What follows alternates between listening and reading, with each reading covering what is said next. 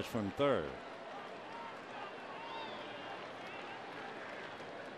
Fastball whacked into center. Back goes Lagares to the track at the wall to make the catch. Both men tag up. Scoring is Gonzalez Kemp to third. It is three to two Mets, and boy, Aruba Reyna really gave that thing a ride.